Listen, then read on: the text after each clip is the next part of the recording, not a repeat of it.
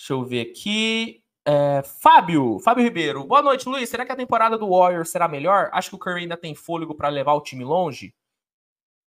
Cara, assim, eu eu acho que o Warriors vem para brigar, velho. Eu acho que vem para brigar por playoff.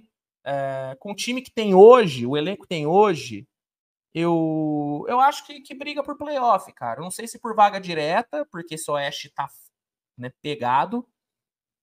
Mas eu acho que briga, cara. Eu acho que briga, acho que pode é, sonhar com semifinal de conferência, acho que dá para sonhar. Mas brigar por final de conferência, título, eu ainda acho complicado. Com o Laurie Markkinen, a situação muda, a projeção muda totalmente, porque aí é outros 500 com o Laurie Markkinen. Com o time que tem hoje, eu acho que briga por briga por playoff e dá para sonhar muito com semifinal de conferência. Mas mais do que isso, aí eu acho que, que é demais. Aí eu sinceramente acho que, que é um pouco demais. Tá bom? Mas vem para uma temporada boa. Vem para uma temporada boa, Golden State. O time, o time, o time melhorou, cara. Melhorou. Melhorou. Deandre Melton, Kyle Anderson, Buddy Hilde.